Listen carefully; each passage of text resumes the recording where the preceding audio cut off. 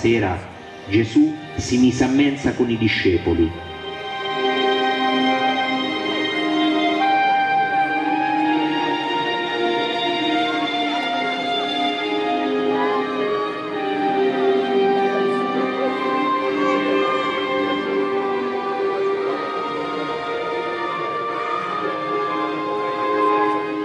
Mentre mangiavano, disse,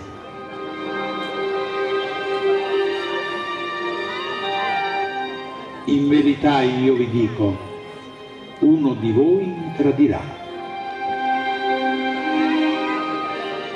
Essi, addolorati profondamente, cominciarono ciascuno a domandarsi l'un l'altro.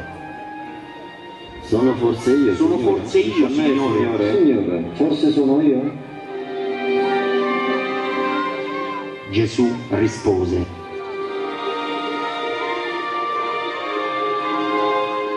Colui che ha intinto con me il pane nel piatto, quello mi tradirà.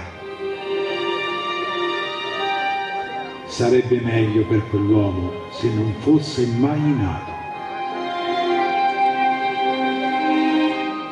il traditore disse, Rabbì, sono forse io? e Gesù rispose, Tu l'hai detto. Giuda, quello che devi fare però, fallo presto.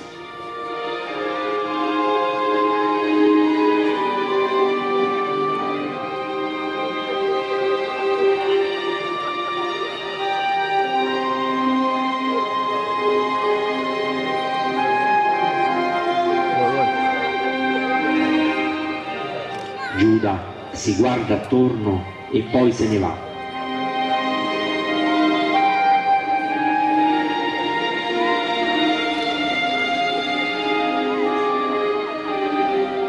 La cena ebraica è finita, ma Gesù trattiene ancora i discepoli e fa cose non previste.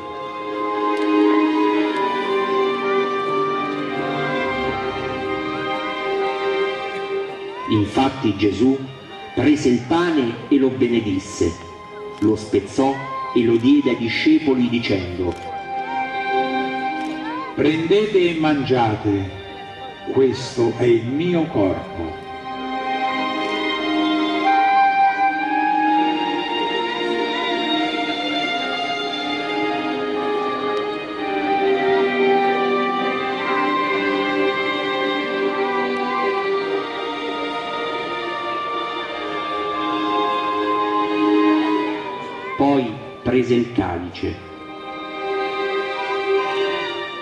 E dopo aver reso grazie lo diede loro dicendo,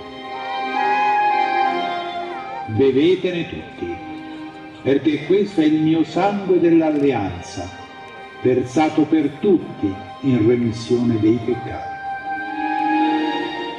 Io vi dico che da ora non verrò più di questo frutto della vite fino al giorno in cui lo verrò di nuovo con voi nel regno del Padre mio.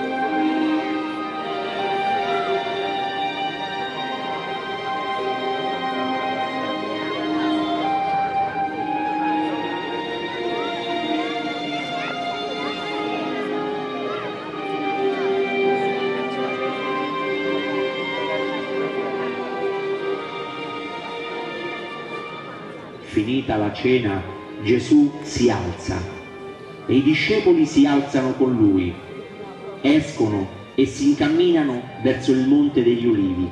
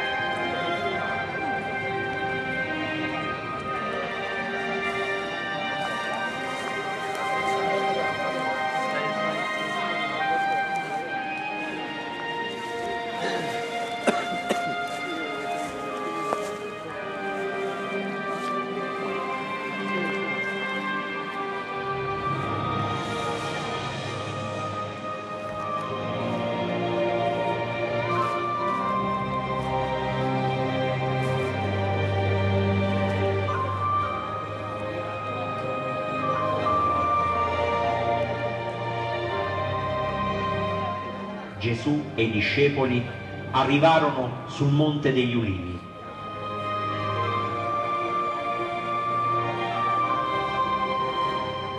Gesù disse loro,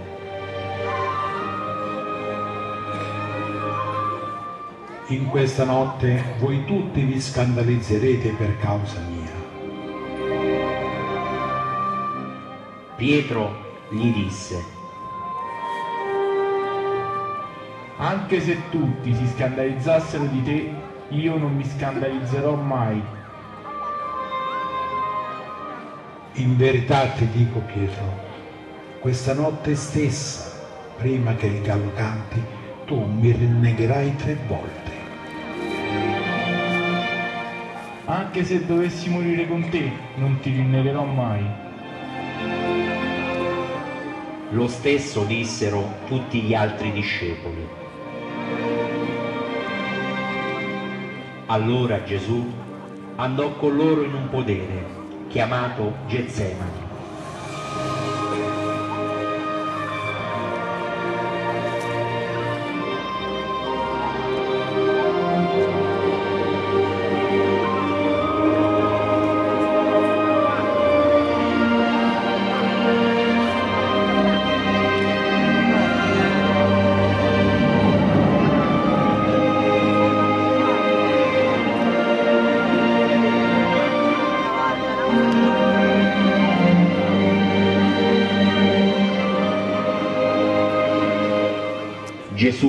Ai discepoli, Sedetevi qui mentre io vado là a pregare.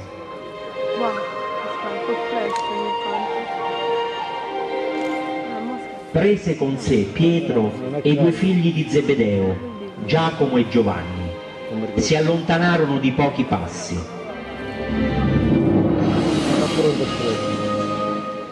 Gesù cominciò a provare tristezza e angoscia e disse loro, La mia anima è triste fino alla morte. Restate qui e vegliate con me.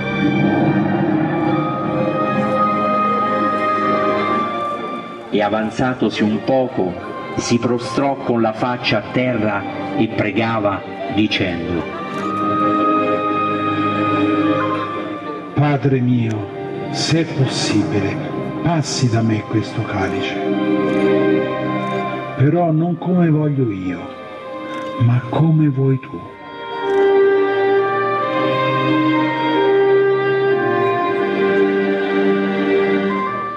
Poi tornò dai discepoli e li trovò che dormivano e disse a Pietro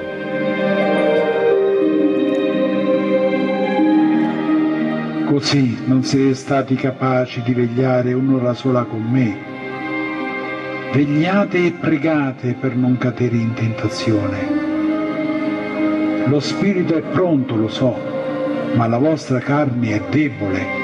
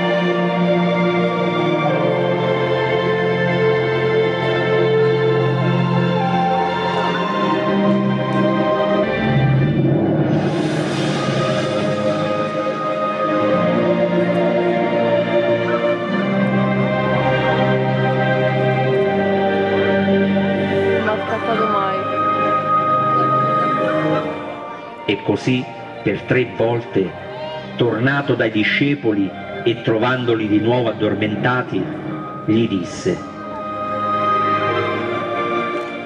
Dormite ormai e riposatevi.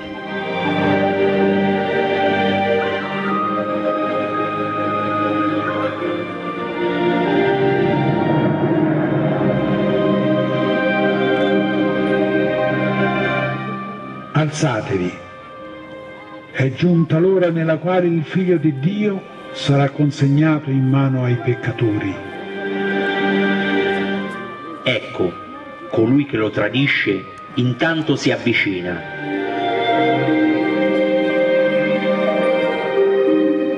Mentre Gesù pregava, ecco arrivare Giuda, uno dei discepoli, e con lui una gran folla con spade e bastoni, mandata dai sommi sacerdoti e dagli anziani del popolo. Il traditore che aveva venduto Gesù per 30 denari d'argento aveva dato loro questo segnale dicendo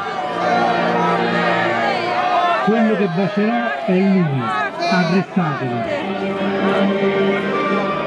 e subito si avvicinò a Gesù e disse Salve Rabbì, e lo baciò.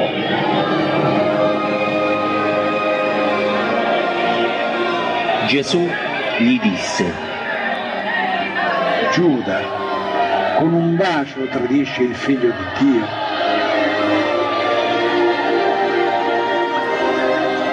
Allora si fecero avanti i soldati, misero le mani addosso a Gesù e lo arrestarono.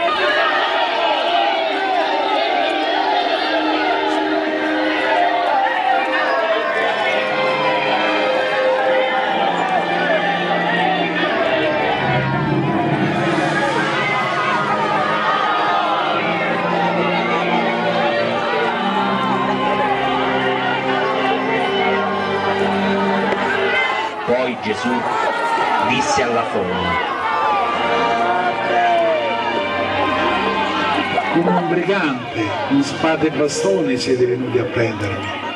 Eppure ogni giorno stavo seduto nel tempio ad insegnare e a pregare e non mi avete arrestato. Tutto questo avviene ora affinché si avverino le scritture dei profeti.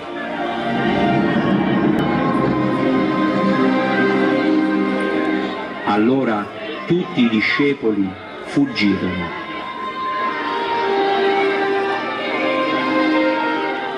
Arrestato Gesù, lo condussero dal sommo sacerdote Caifa. Pietro intanto lo seguì da lontano, fino al palazzo del sommo sacerdote.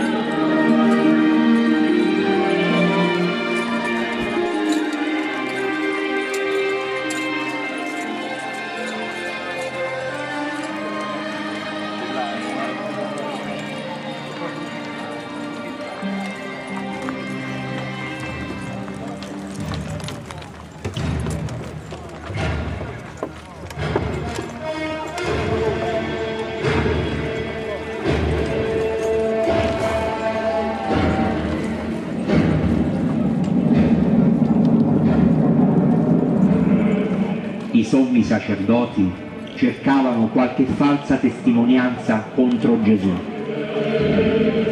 per condannarlo a morte, ma non riuscirono a trovarne alcuna. Infine si presentarono due che affermarono Costui ha dichiarato, posso distruggere il Tempio e ricostruirlo in tre giorni.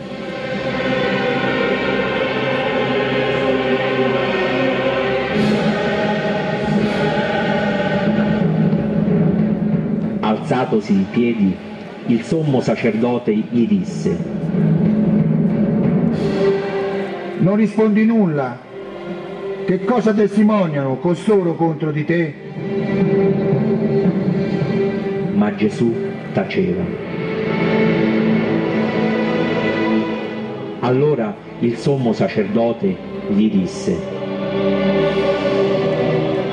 Ti scongiuro per il Dio vivente. Dici tu se sei il Cristo, il figlio di Dio. Tu l'hai detto. Anzi io vi dico D'ora innanzi vedrete il figlio dell'uomo seduto alla destra di Dio sulle nubi del cielo.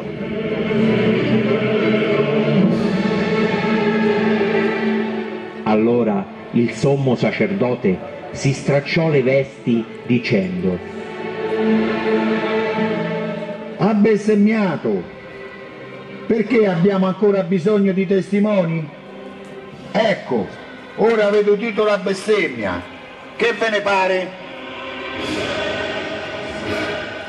e quelli risposero.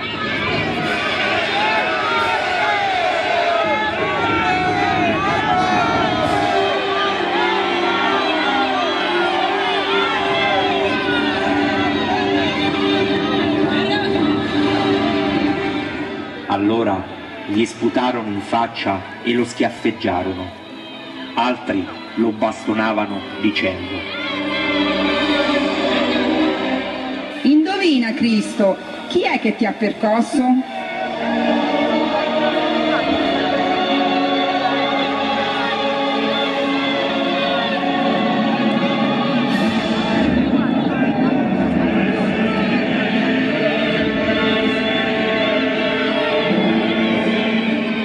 Sommi sacerdoti e gli anziani del popolo tennero consiglio contro Gesù per farlo morire.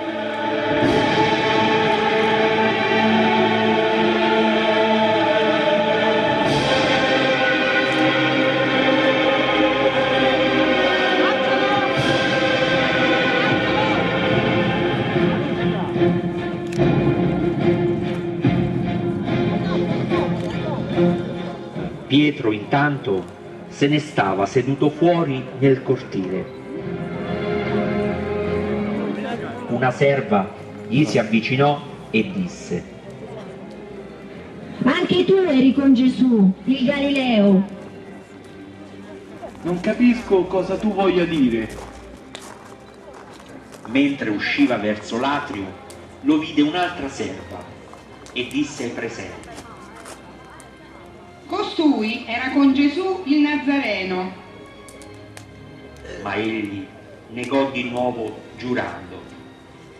Io non conosco quell'uomo. Anche uno dei servi che era stato attorno al fuoco si rivolge a Pietro dicendo Certo che eri con Gesù, la tua parlata ti tradisce. Non conosco quell'uomo.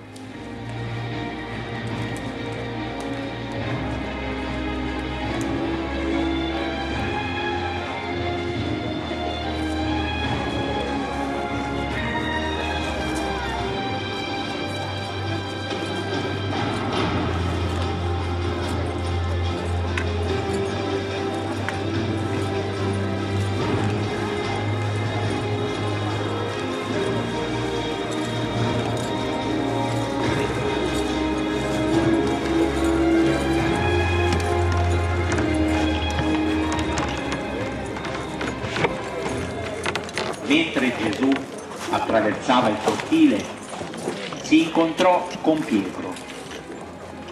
e mentre si fissavano negli occhi l'uno con l'altro si sentì un gallo cantare.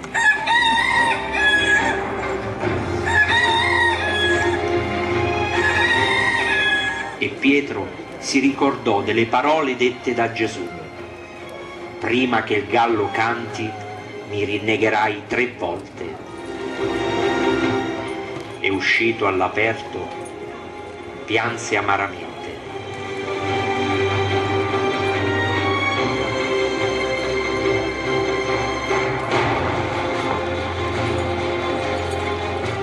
Al mattino i sommi sacerdoti riuniscono di nuovo il Sinedrio, confermano la condanna di Gesù e decidono di consegnarlo ai Romani. Portano quindi Gesù da Pilato, il procuratore romano governatore di Gerusalemme.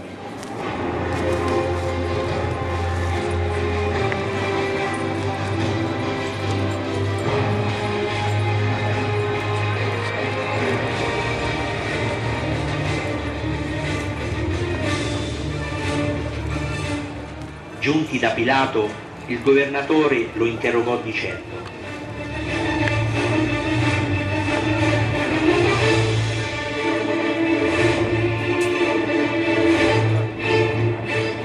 Sei tu il re dei giudei? La tua gente ti ha condotto da me. Che cosa hai fatto? Rispondi. Affermi di essere un re. Gesù rispose. Tu lo dici. Io sono nato per rendere testimonianza alla verità.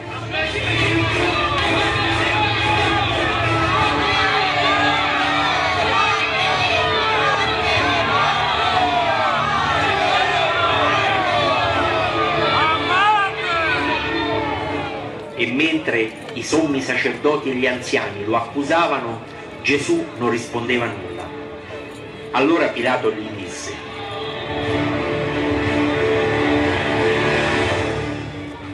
senti quante accuse muovono contro di te? Perché non rispondi? ma Gesù non gli rispose neanche una parola. Nel frattempo Pilato pensava, cercava una soluzione e si ricordò che il governatore era solito per ciascuna festa di Pasqua rilasciare al popolo un prigioniero a loro scelta. A Pilato venne subito in mente un famoso prigioniero, ladro e assassino, chiamato Barabba.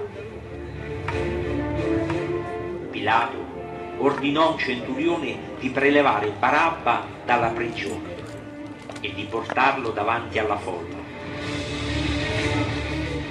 Così Pilato disse, Chi volete che vi lasci libero? Barabba o Gesù chiamato il Cristo?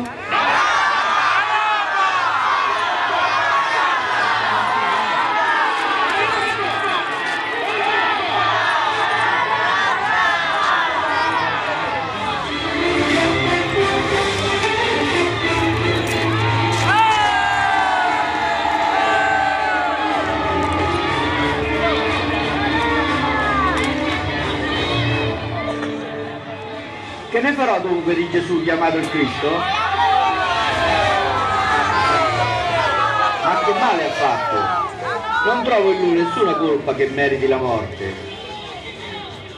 Perciò lo farò frustare e poi lo lascerò libero.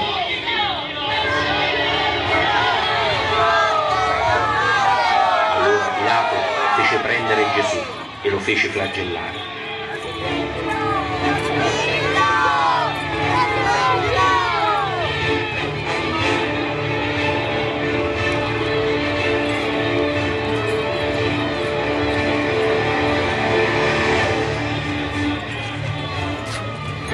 Flagellato!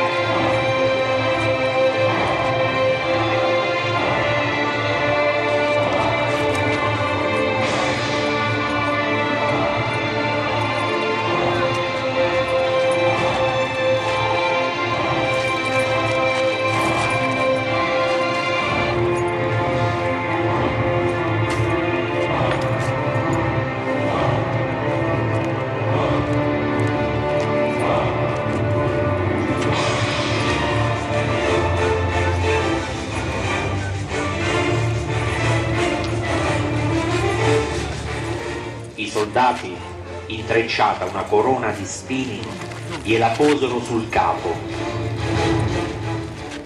e gli misero addosso un mantello di porpora.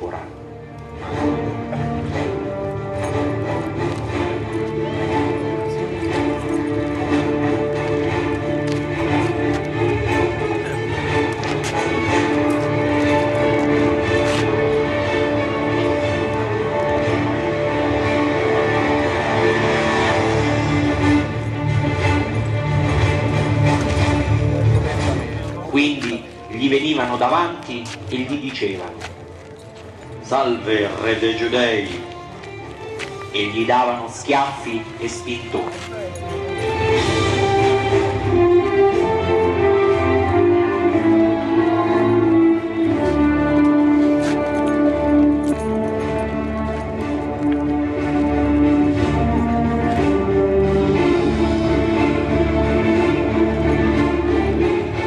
Pilato intanto uscì di nuovo e disse al popolo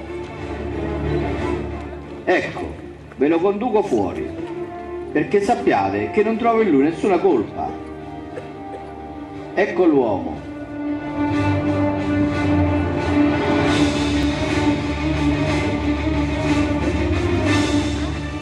Nel vederlo i sommi sacerdoti e il popolo gridarono.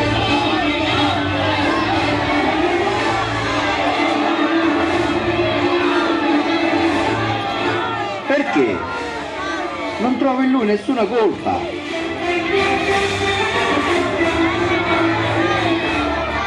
Detto questo, si avvicinò al catino, si lavò le mani e disse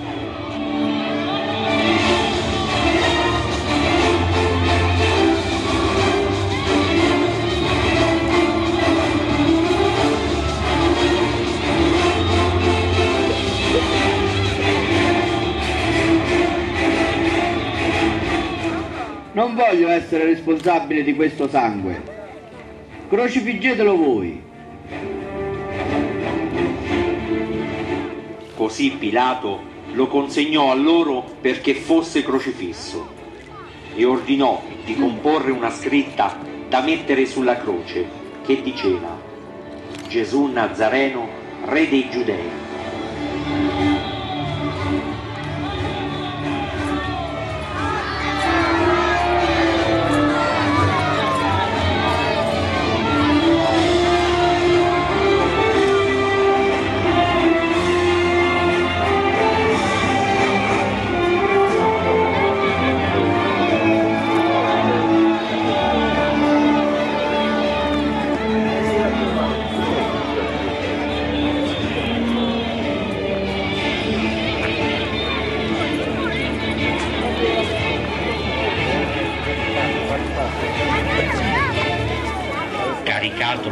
Croce, si incamminarono verso il luogo detto Golgota. Forza De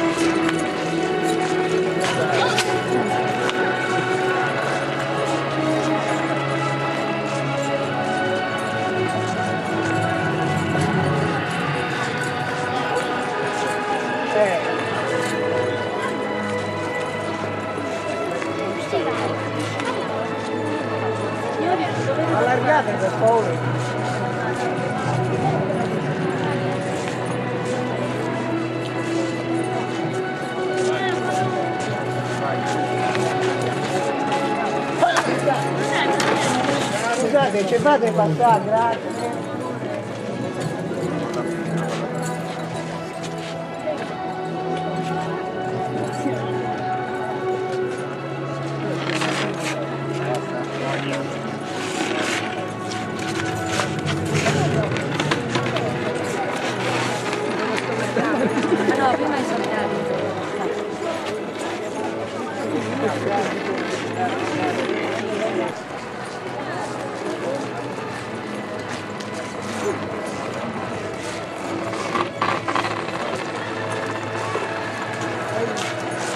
Vai, vai,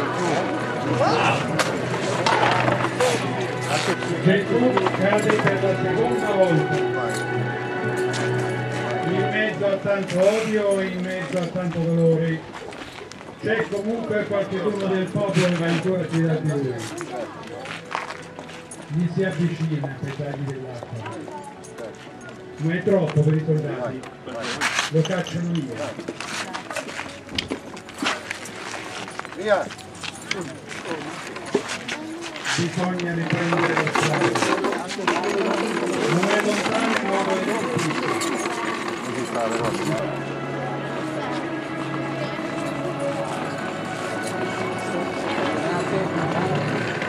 Avanti, camminate. La crudeltà, l'odio viene rotto da un gruppo di donne che si avvicinano a Gesù. Lo hanno accompagnato dalla Galilea e lo hanno servito per tutto il suo peregrinare, facendo loro lamenti su di lui. Ma Gesù si rivolge a loro dicendo, figlie di Gerusalemme, non piangete su di me, ma piangete su voi stessi e sui vostri figli. Ecco, verranno giorni nei quali si dirà, beate le sterili, beati i grembi che non hanno generato e i seni che non hanno allattato. Allora sarà il momento di gridare ai monti, cadete su di noi e alle colline, copriteci, perché se si tratta così il legno verde, che avverrà del legno secco?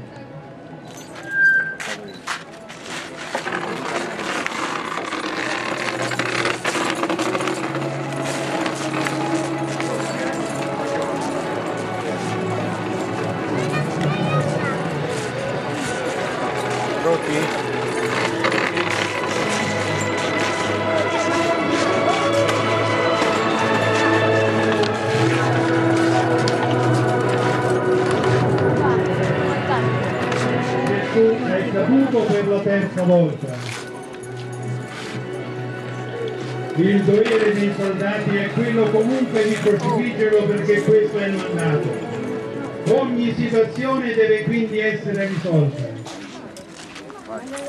Il condannato viene rialzato, viene ricaricato della croce. È necessario che raggiunga il luogo del supplizio.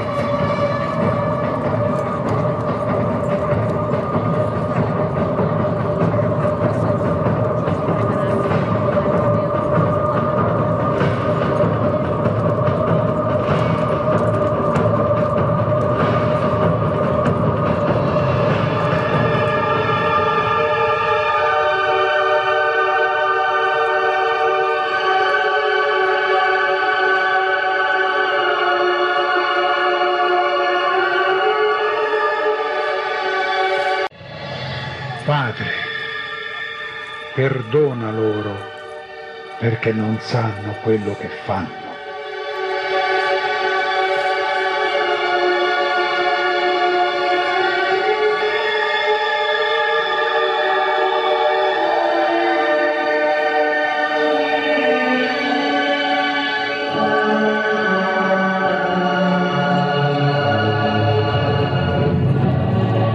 I soldati poi, quando ebbero crocifisso Gesù, presero le sue vesti e ne fecero quattro parti, una per ciascun soldato, e tirarono a sorte la sua tunica.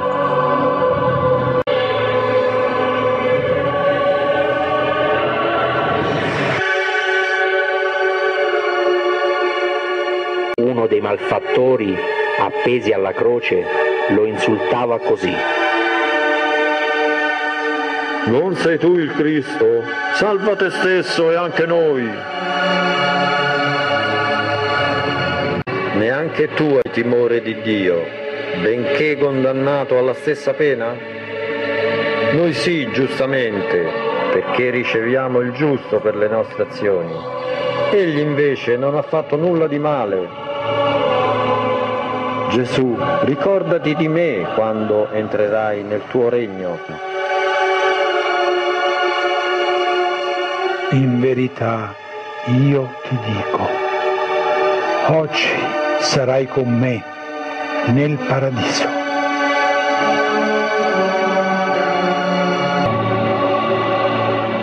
Stavano presso la croce di Gesù sua madre, la sorella di sua madre, Maria di Cleofa e Maria di Magdala. Gesù allora, vedendo la madre e lì accanto a lei il discepolo che egli amava, disse alla madre,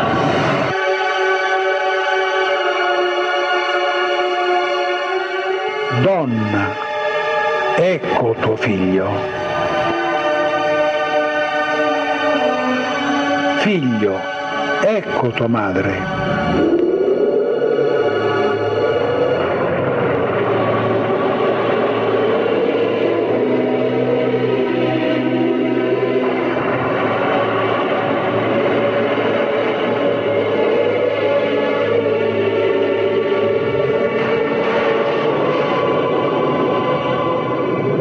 Mezzogiorno fino alle tre del pomeriggio si fece buio su tutta la terra. Verso le tre Gesù gridò a gran voce.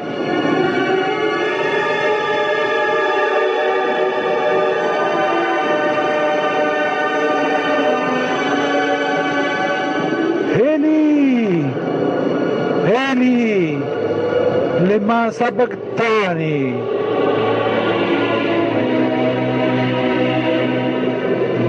Mio, Dio mio, perché mi hai abbandonato? Queste sono le parole del mio lamento, questa è la base della mia preghiera. Costui!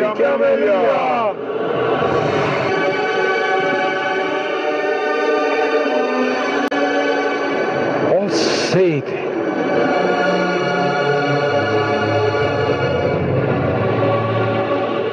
Era un vaso pieno d'aceto.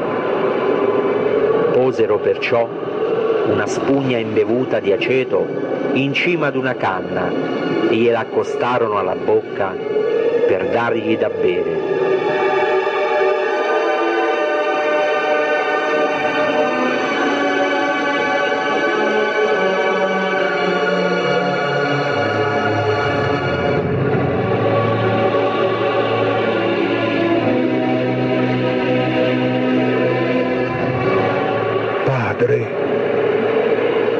Tue mani consegno il mio spirito.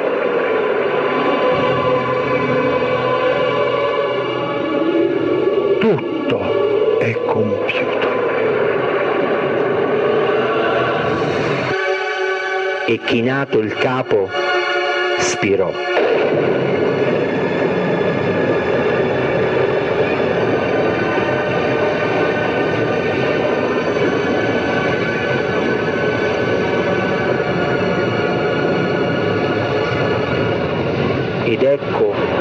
Del Tempio si squarciò in due da cima a fondo, la terra si scosse, le rocce si spezzarono. Il centurione e quelli che con lui facevano la guardia a Gesù, sentito il terremoto e visto quel che succedeva, furono presi da grande timore e dicevano Davvero, costui era il figlio di Dio.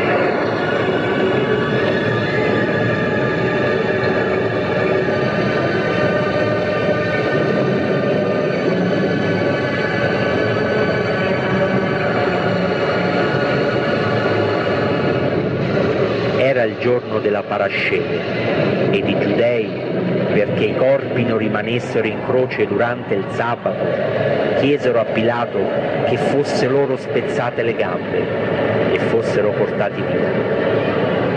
Vennero dunque i soldati e spezzarono le gambe al primo e poi all'altro, che era stato crocifisso con lui.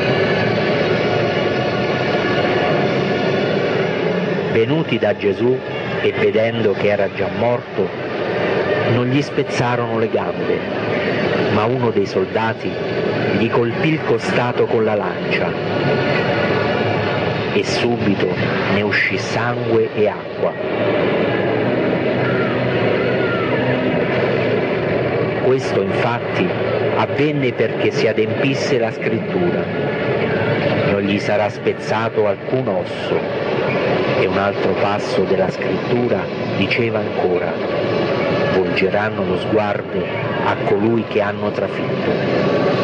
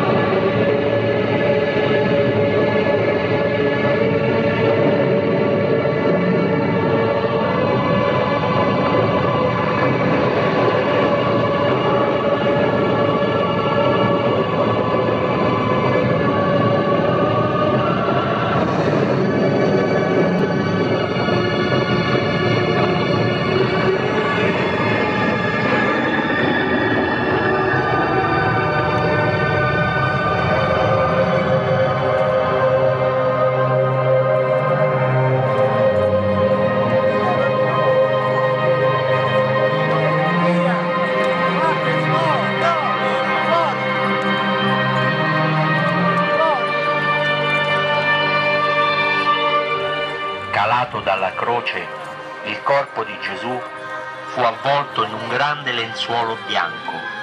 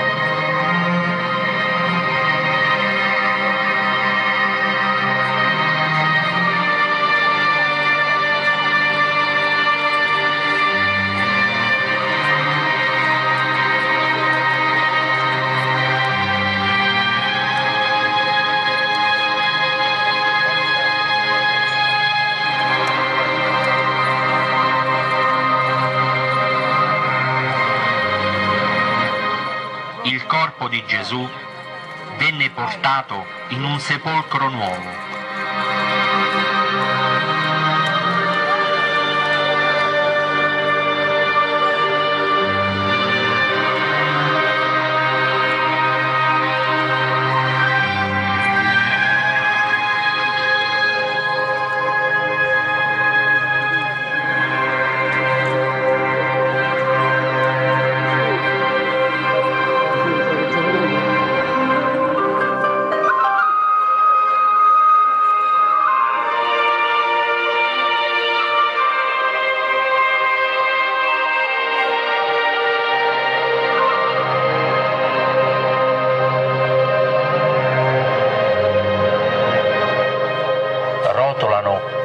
grande pietra per chiudere la tomba di Gesù.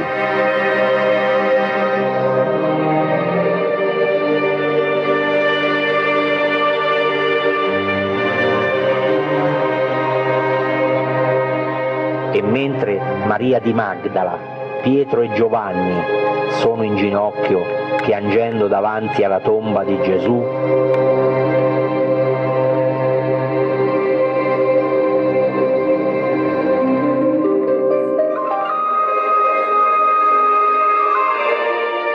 Ecco, una grande luce li illumina dal cielo.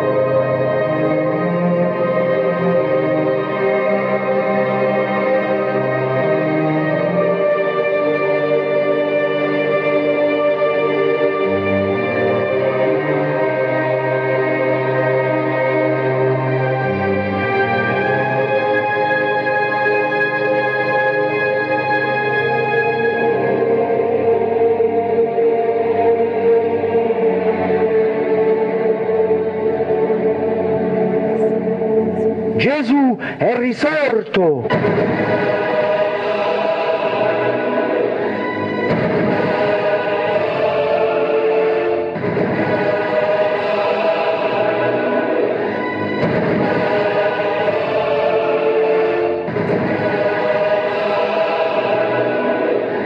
Sale al cielo per sedere alla destra del Padre, ma prima di andare rivolge un saluto ai suoi discepoli e a tutti gli uomini di buona volontà.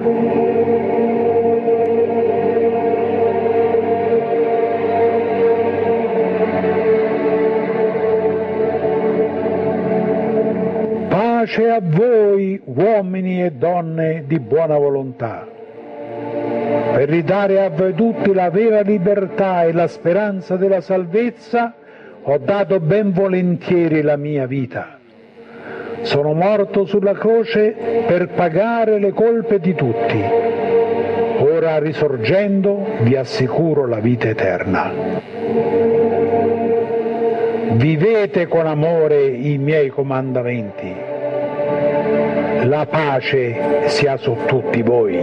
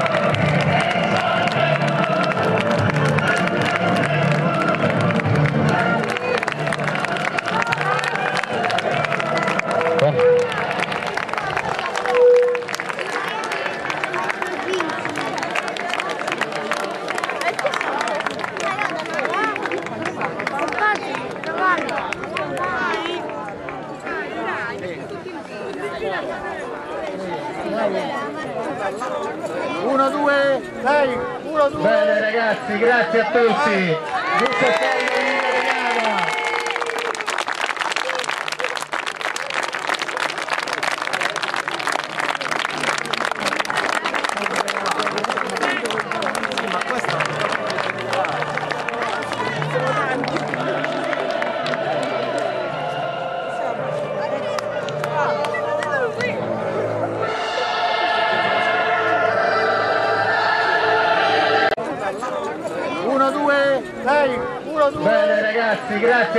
a